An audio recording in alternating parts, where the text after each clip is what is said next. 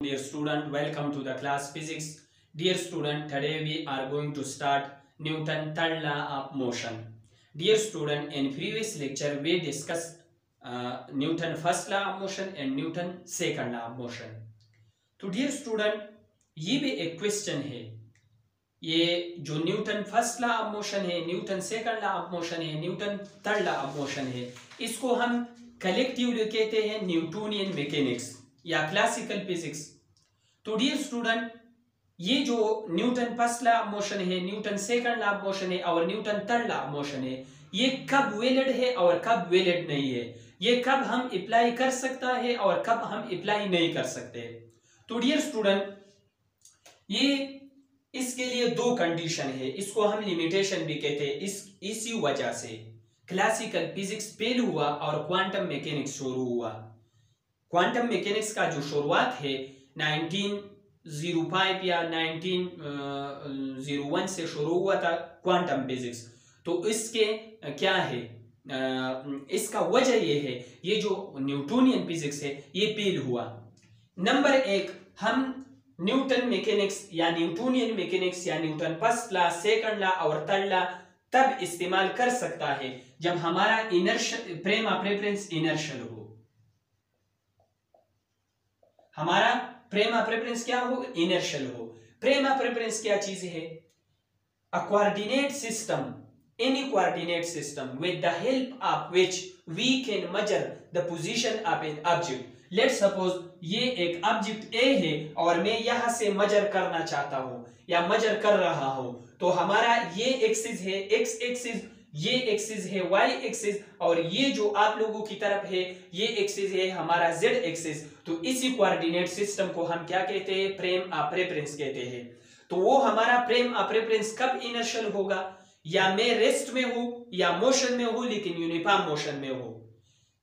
तो इसको हम क्या कहते हैं? इनर्शियल प्रेम अप्रेफरेंस दूसरा जो हमारा पॉइंट है, दूसरा पॉइंट है, जो ऑब्जेक्ट जो ऑब्जेक्ट मोशन कर रहा है, जो ऑब्जेक्ट मोशन कर रहा है, उसका speed speed of speed of light से कम होने चाहिए। ये जो सर आइंस्टाइन ने 1905 और 1915 में दो थ्योरी पेश किया 1905 में स्पेशल थ्योरी ऑफ़ रिलेटिविटी पेश किया और 1915 में general theory of relativity so 1905 में स्पेशल थ्योरी ऑफ़ रिलेटिविटी बहुत स्मॉल पार्टिकल के ऑब्जेक्ट के लिए थे।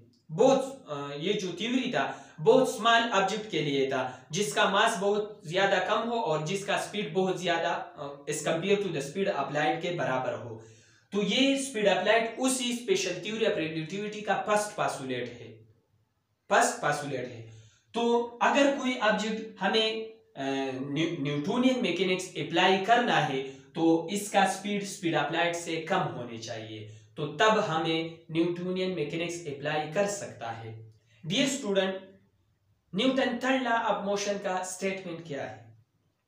Every action have a reaction. Action and reaction both are same in magnitude and opposite in direction. जब हम क्लास सेकंड ईयर में थे तो वहाँ हमने इंग्लिश के अंदर ड्राम ड्रामे पढ़ा। तो शेक्सपियर का एक ड्रामा था। एक बादशाह था, उसकी चार या तीन बेटियाँ थी। तो उस बादशाह ने हर एक बेटी से पूछा कि आप मुझसे कितना प्यार करते हो? आप मुझसे कितना मोहब्बत करते हो? तो तीन तीन बेटियों ने कहा कि हम आपसे बहुत ज़्यादा प्यार करते हैं। लेकिन एक ने कहा कि मैं आपसे इतना प्यार करता हूँ जितना आप मुझसे करते हो। तो उसने, बादशाह ने ये बात सुनकर उसने अपने रियासत में निकाला कहा आप मुझसे इतना प्यार क्यों करते हो? आप मुझसे इतना प्यार करो जितना क्या करे? जो जिसका हद मालूम नहीं हो तो उसकी बेटी ने उसको कहा कि क्या है? ये नेचर है। जितना प्यार आप मुझसे करती हो, इतना प्यार मैं आपसे करती हूँ। तो जितना आप एक्शन करते हो, इतना आपको रिएक्शन मिलेगा। बट एक्शन और रिएक्शन क्या होगा? एक्शन और रिएक्शन होने चाहिए opposite in direction dear student let suppose ये भी एक क्वेश्चन है। अगर एक्शन और reaction both are same in magnitude और अपोजिट इन डायरेक्शन में हो तो ये एक दूसरे को कैंसिल क्यों नहीं करते? जिस तरह मैंने Newton first law of motion में बताया जिसम हमेशा रेस्ट में रहेगा, अगर जिसम कोई, जिसम रेस्ट में हो, हमेशा रेस्ट में रहेगा और जिसम मोशन में हो तो हमेशा यूनिफॉर्म वेलोसिटी के साथ मोशन करेगा। जब तक, कब तक ये इस तरह करेगा? जब तक उस पर अनबोल unbalance force unbalance force act ना करे। अगर बैलेंस फोर्स एक्ट करे तो ये जिसम का स्टेट चेंज नहीं हो सकता, ये पॉसिबल नहीं है। तो वहाँ बैलेंस फोर्स था, एक फोर्स था। एक ऑब्जेक्ट था, एक तरफ़ से क्या था? ऐसा मैंने डायग्राम ड्रा किया कि ये एक ऑब्जेक्ट है, इस पर ten Newton force ten Newton force ये टूवर्ड लेफ़्ट पुश कर राइट पुश कर रहा है। और ये क्या है? ये भी टेन न्यूटन फोर्स है। टेन न्यूटन फोर्स है और ये इसको राइट की तरफ़ मूव करना चाहते हो पुशअप करना चाहते हो तो दोनों फोर्स क्या है? अपोजिट डायरेक्शन में है और मैग्नीट्यूड में क्या है? सेम है। तो इसका नेट फोर्स क्या था? ज़ीरो था। तो जिसम का स्टेट चेंज नहीं हो सकता था उधर। तो डियर स्टूडेंट, यहाँ क्या है?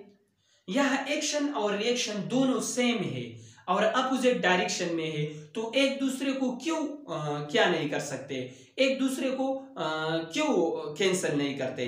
तो डियर स्टूडेंट ये जो मैंने नोट लिख किया नोट ये जहन में रख लो और कॉपी में क्या, अपने नोटबुक में भी नोट कर लो।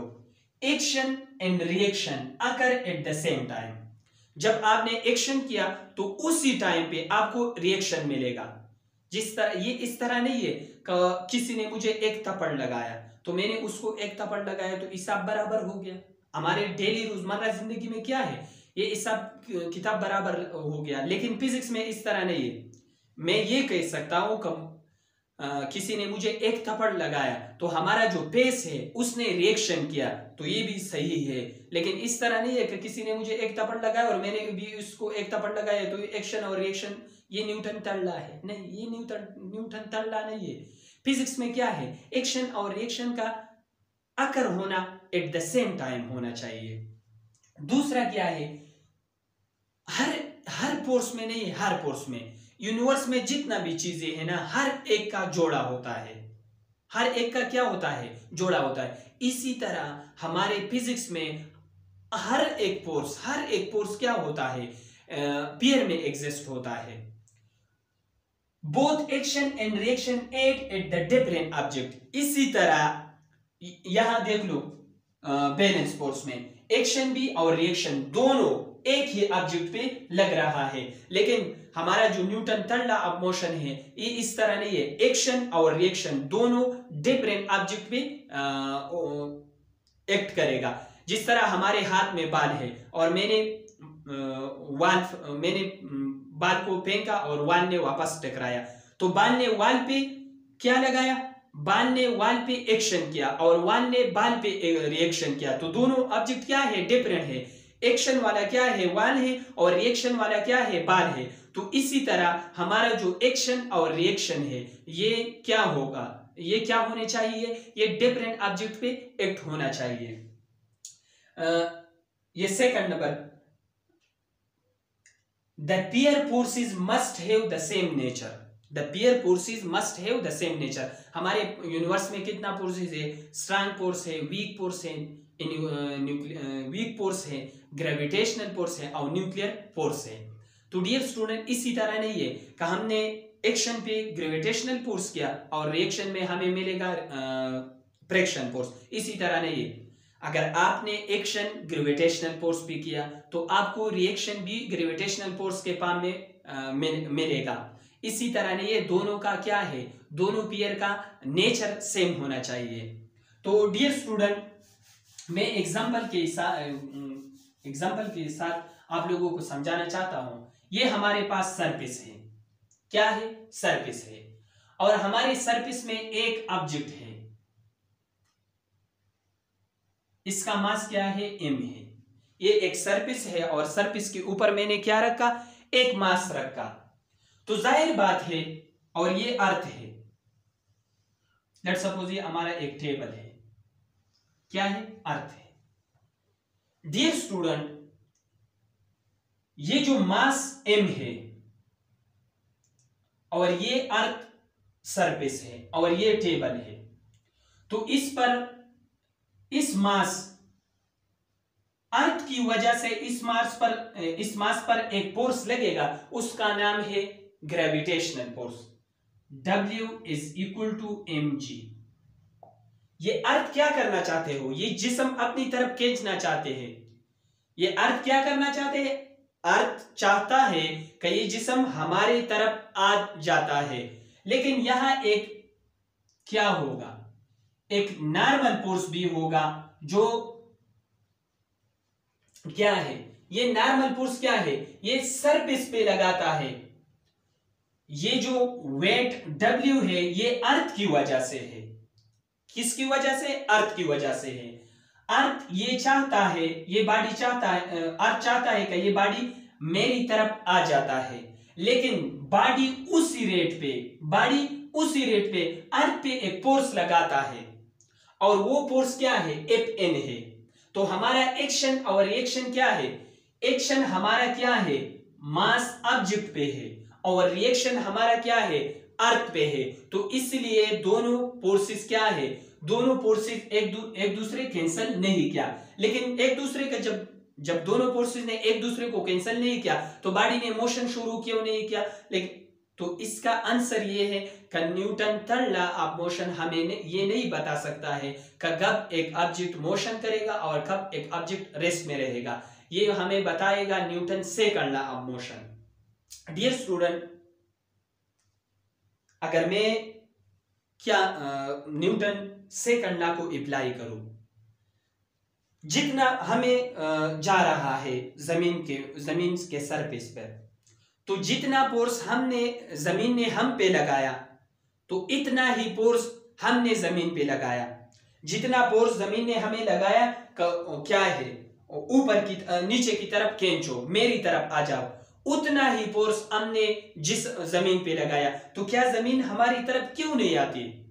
हम ज़मीन की तरफ़ जाता है, लेकिन ज़मीन हमारे तरफ़ क्यों नहीं आती? लेकिन क्या है? एग्जैक्टली exactly हम इतना फोर्स लगाता है, जितना फोर्स हमें ज़मीन ज़मीन हम पे लगाता है।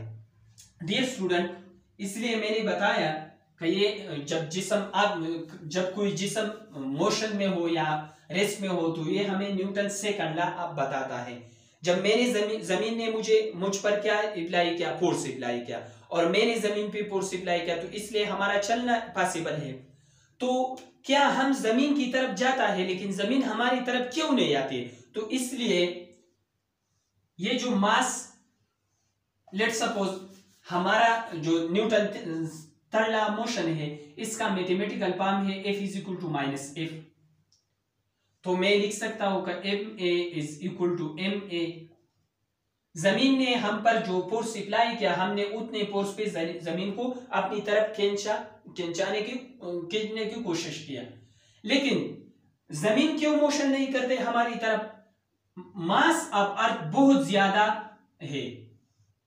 जब मास बहुत ज़्यादा हो तो एक्सिलेशन कितना होना चाहिए? बहुत ज़्यादा कम होना चाहिए। हमारे मास, हमारे कीमियत के निस्बत में ज़मीन का मास बहुत ज़्यादा है। तो इसलिए हम ज़मीन की तरफ़ जा सकता है, लेकिन ज़मीन हमारी तरफ़ नहीं आ सकते हैं। तो इसलिए हमारा मास छोटा है, लेकिन हमारा क्या है? एक्सिलरेशन बहुत बड़ा है। तो डियर स्टूडेंट इसका प्रैक्टिकल एग्जांपल क्या है? इसका प्रैक्टिकल एग्जांपल है, एक रॉकेट ऊपर जा रहा है। तो रॉकेट से क्या धुआँ निकल रहा है? तो इसको हम क्या कहते हैं? एक्शन कहते हैं। और जो हवा इसके ऊपर लगाता है, उसको रिएक्शन कहते हैं। हमारा जो बालून है, जब हमने छोड़ा तो हवा एक ही तरफ़ जाता है और बालून दूसरी तरफ़ जाता है। तो ये है न्यूटन से थर्ड लॉ का practical example so dear student I hope ये लेक्चर आप लोगों के समझ में आ गया होगा। Do study wish you best of luck